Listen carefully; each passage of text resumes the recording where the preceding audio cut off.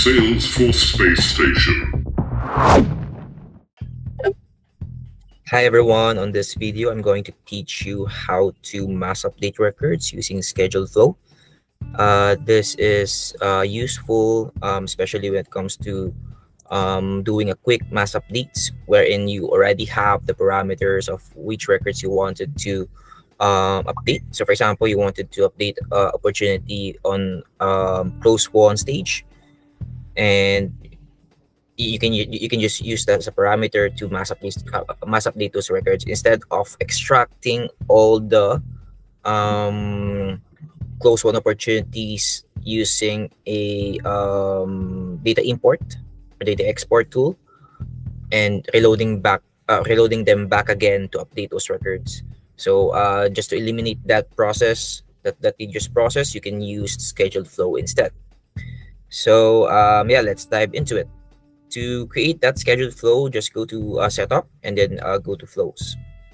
Then once you are here, uh, create a new one.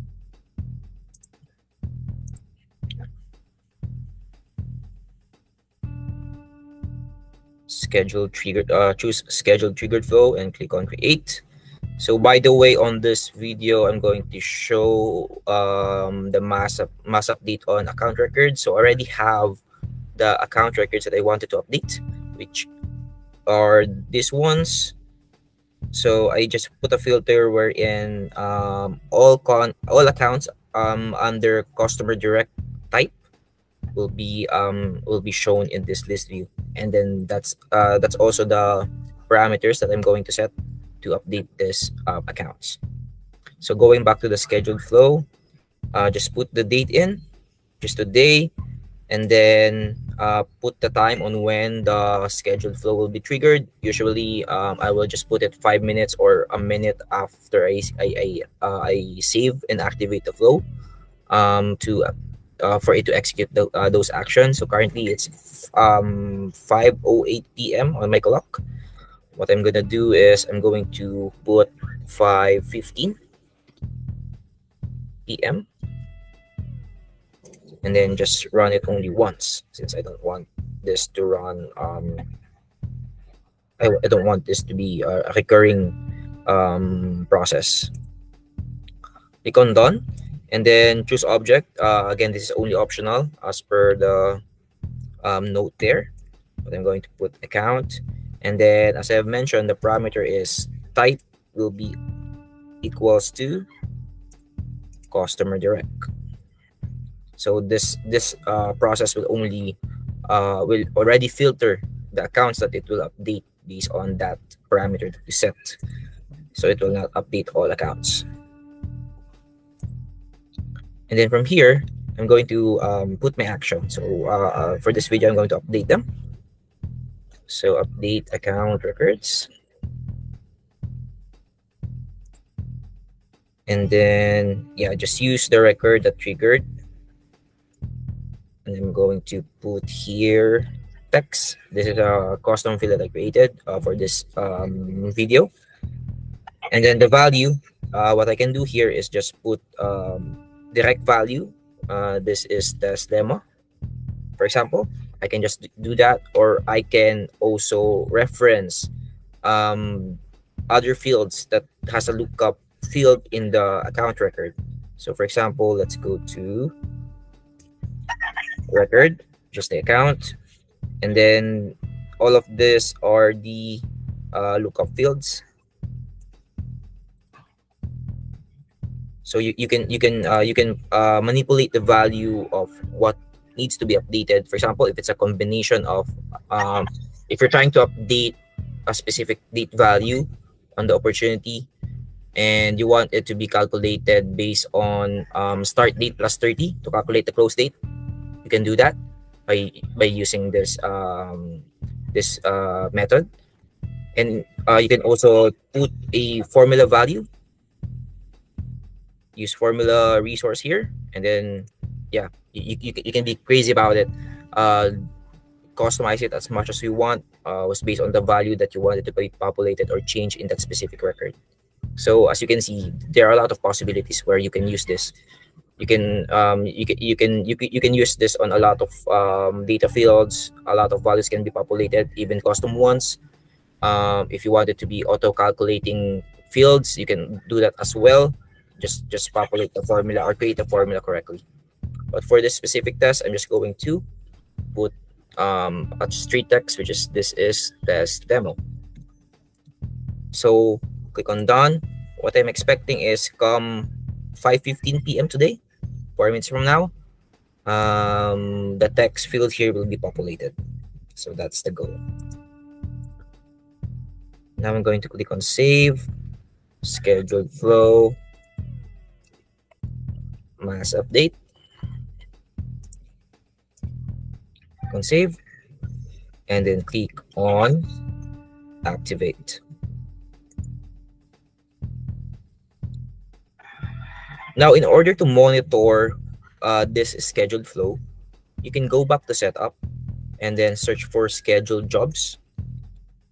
And from here, you can see that this is being queued and waiting to be executed at the time that you um, configure the flow.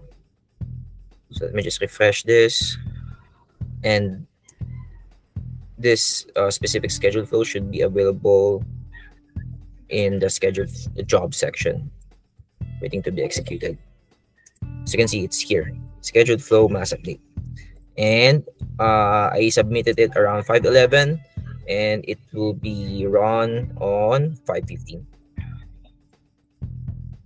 So uh, yeah, just to reiterate while we, while we are waiting for that time to be executed, uh, a lot of um, a lot of customizations and um, possibilities you, you, you can do with this mass update instead of the traditional extracting, uh, importing exporting the records, wherein you need to manipulate those records uh, in an Excel sheet.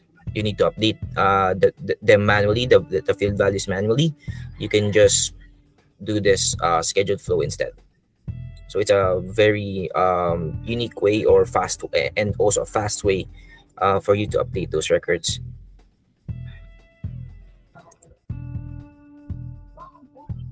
So yeah, let's just wait for um, two minutes more and we should be seeing the updates happening on the account records.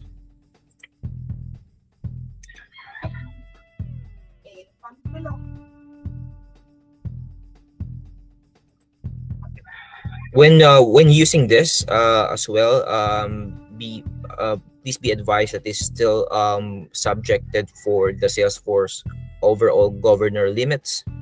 So for example, um, you want to update all accounts in the system regardless uh, without any uh, without any um, parameters or filter criteria.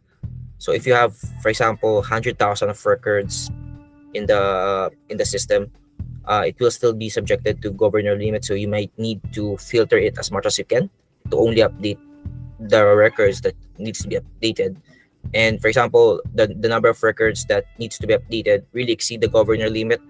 I would suggest uh, do uh, do a loop counter here that will count the number of records being processed and set it to like 2000 records or 5000 records to be processed. After that it will stop and then it will trigger again. So th- those are the uh, workaround that i'm that i'm um, thinking of when doing the mass update on thousands and thousands of records because it will definitely hit uh, the, the governor Salesforce governor limit at some point especially yeah, when when there's a lot of records. So uh, you can you can put the the hard stop on 10,000 5,000 records and then just uh, do it again uh, for the remaining ones all right so yeah it's already 5:15 um it should be gone here on scheduled jobs since it's already executed Yep, it started already, 5.15. And as you can see here, there's no scheduled run because we set the flow to only run once. Here, frequency once. And I'm expecting that the text field here will be updated. There you go. Um, yeah, that's it. I hope this video helped you guys on how uh, understanding on how to use the scheduled flow on mass updating records. And yeah, I'll see you on the next one. Thank you. Salesforce Space Station.